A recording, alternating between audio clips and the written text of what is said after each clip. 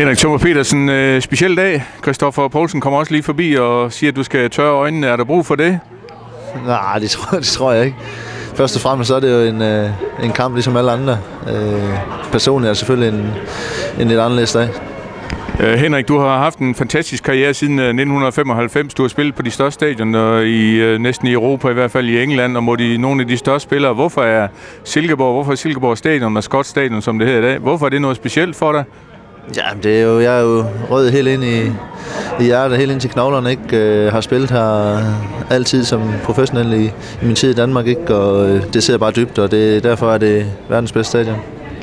Tømmer, jeg kan jo ramse op fra nu af så til juleaften alle de der rekorder, du har, både her og næsten også i England. Men øh, hvad vil du øh, selv huske øh, bedst i din karriere her i, i Silkeborg, hvis vi skrænker os ind til det? For du har både været med til at sikre oprykning og forhindre nedrykning og alt muligt.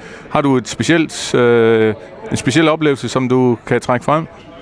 Altså, hvis vi skal sige det sportsligt, så, øh, så må det helt klart være pokalfinalen i 2001, hvor, hvor vi vinder 4-1, og jeg er med til at score de to sidste. Ikke? Det, det står sportsligt for i Silkeborg som det største.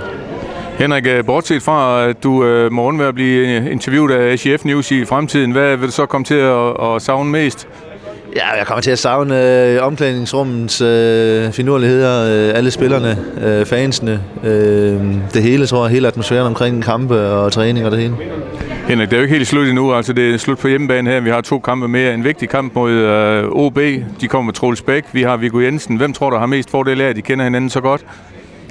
Ja, det er jo ikke til at vide.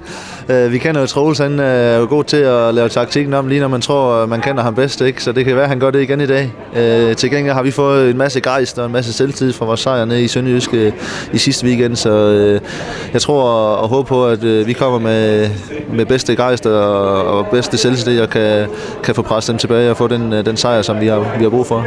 Ja, de snyder sidste gang, de scorede i sidste minut, og Troels han siger, at det var det bedste hold, der, altså, der tabte den dag, fordi SIF var faktisk bedre end OB, men uh, så det må for alt i verden ikke ske i dag, at de scorer så, så sent. Nej, jo, altså så, så har vi forhåbentlig scoret en 3-4 stykker inden der, så er det ok, men øh, det er rigtigt, altså øh, vi var bedst sidste gang, men sådan er det jo fodbold, det gælder om at score målen, og øh, der var de bedre end os, og derfor vandt de kampen. Men Henrik, en uh, speciel dag for dig, spiller du, uh, starter du ind, eller hvordan kommer det til at foregå? Nej, det er stort set det eneste, som klubben ikke kunne arrangere for mig i dag. Det, det var vel en startsplads. Øh, jeg er utrolig stolt og bæret over alt det, som klubben har gjort øh, omkring dagen i dag. Øh, både med min familie oppe i loungen og billetter ned til målet. Og, jamen, der var stort set ikke det, jeg ikke kunne have fået. Men lige den sidste startsplads, den kunne de desværre ikke give mig. Så jeg blev taget den på bænken, og så håber på, at jeg kan komme ind på et tidspunkt. Tømmer, jeg er fra en øh, generation, hvor man ikke sådan øh, øh, gik rundt og delte knus ud, og specielt ikke øh, mand til mand. Nu får du et alligevel. Tak. tak.